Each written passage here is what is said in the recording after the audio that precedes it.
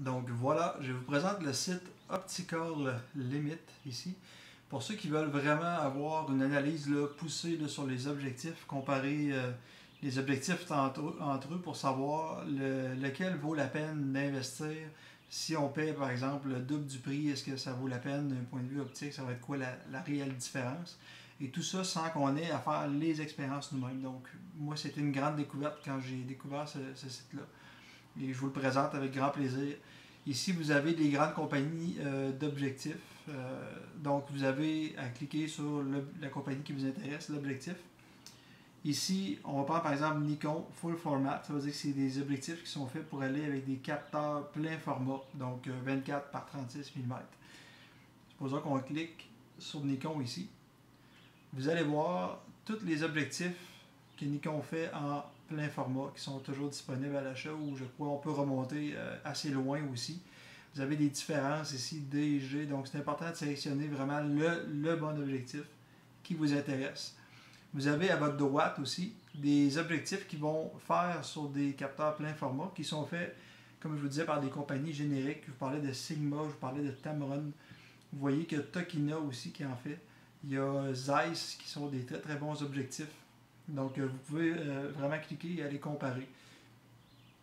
Supposons qu'on prend le 50 mm f1.4D.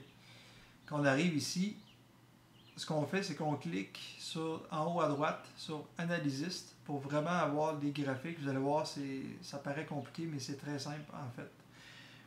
Le premier graphique qu'on a qui nous donne sur cet objectif-là ici, c'est un quadrillé qui va nous renseigner sur la distorsion de l'objectif. Donc, évidemment, ici, j'ai déjà parlé que les objectifs fixes donnaient une meilleure qualité que les zooms. Donc, vous voyez qu'il n'y a pas vraiment de distorsion parce que les lignes sont pratiquement droites, autant à l'horizontale qu'à la verticale. Euh, donc, ça, c'est une indication, c'est ce qui nous dit là, que l'objectif, il n'y aura pas beaucoup de distorsion au niveau visuel. Si on regardait un zoom, vous verriez des lignes qui pourraient monter et redescendre ici dans les côtés comme ça, parce que c'est des objectifs qui sont plus complexes à fabriquer. Il y a, beaucoup d'éléments de, de, lentilles dedans. Donc, c'est très compliqué à faire et c'est pour ça que le rendu optique est un petit peu moins bon euh, en fonction de la focale qu'on sélectionne. Euh, donc, mais vous avez tous les résultats de ces analyses-là. Vous pouvez sélectionner les objectifs zoom de la même manière. Donc, ici, évidemment, distorsion. Si on descend encore un petit peu, Ici, il nous parle de vignetting. Vignetting, c'est le vignettage. Vous savez, quand on regarde dans les coins des objectifs, souvent on voit, euh, c'est pas toujours évident, mais si vous photographiez un carton blanc, par exemple, vous allez voir que dans les coins, ça s'assombrit un petit peu. C'est ce qu'on appelle le vignettage. Ça, c'est ce qu'on essaie d'éviter habituellement. Ici, ça nous renseigne sur la quantité de vignettage qu'il y a. Vous voyez qu'ici, si on sélectionne F1.4, évidemment, l'ouverture est à son plus grand. Donc, c'est là que c'est le plus compliqué d'un point de vue technique pour les objectifs et c'est là qu'on va avoir le plus d'assombrissement dans les coins. Vous voyez que quand on ferme l'ouverture ici, euh, à partir de F4, F5.6, vous voyez qu'on n'a pratiquement pas de vignettage. Donc ça, c'est une information intéressante en fonction de ce qu'on veut faire. C'est une information très intéressante à avoir quand on fait le choix de notre objectif. Une autre donnée ici que je vous présente, c'est la netteté de l'image. Hein. J'en ai déjà parlé. Euh, encore une fois, les objectifs fixes sont plus nets que les zooms. Et eh bien ici, vous avez pour 50 mm, évidemment, c'est une 50 mm. On vous donne pour différentes valeurs d'ouverture, on vous donne euh, à quoi va ressembler la netteté. Ici, vous l'avez en chiffres, mais nous, ça ne nous dit pas grand-chose. Donc, ce qu'on regarde, c'est l'échelle qui a été traduite en mots pour dire good, c'est bon, very good ou excellent. Et on a, vous voyez, pour la même valeur focale, on a trois colonnes. C'est tout simplement, le, celle en bleu ici, c'est écrit center, ça concerne le centre de, de l'objectif. Ici, la rouge, c'est quand on s'approche des barres de l'objectif. Vous voyez que ça devient plus difficile, encore une fois, techniquement, de construire ces objectifs-là. Au niveau, euh, plus on s'approche des côtés, plus la qualité, la netteté de l'image va en prendre un coup. Donc, vous voyez ici, euh, on est vraiment dans l'extrême. Donc, ça vous donne ici, pour chaque valeur focale, vous avez la situation, comment ça se présente. Mais nous, ce qui, nous intéresse surtout, c'est ça, c'est le centre de l'image.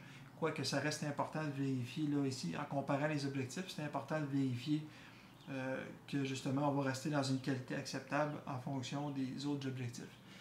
Euh, mais vous voyez ici que si on est à F4 ou F5.6, vous voyez qu'on est à notre maximum au niveau de la netteté de l'image. On est à notre maximum euh, de ce qu'on peut avoir, on est dans l'excellent. Et euh, pour vous dire, franchement, vous allez probablement l'observer si vous vous amusez à regarder les analyses de ces objectifs-là. Vous allez voir que si on prend un objectif et qu'on ferme trois stops, donc trois, trois stops à partir de sa plus grande ouverture, c'est à ce moment-là, 1, 2, 3, c'est à ce moment-là qu'on commence à avoir le meilleur rendu au niveau de la netteté. Et c'est pas seulement dans le cas de la 50 mm, vous allez voir, comme je viens de vous dire, si vous comparez les résultats avec d'autres objectifs, si vous regardez les analyses, vous allez constater ce phénomène-là. Toujours, c'est lié à la construction des, objectifs. Et vous voyez qu'après, ça redescend encore. Donc, si vous avez à utiliser un objectif, si vous avez le choix de la focale au niveau du rendu de ce, que vous voulez avoir, vous avez le luxe d'avoir le choix.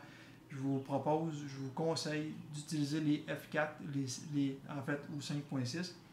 Je vous conseille d'utiliser la troisième, euh, la troisième cran qu'on appelle le troisième stop à partir de l'ouverture la plus grande.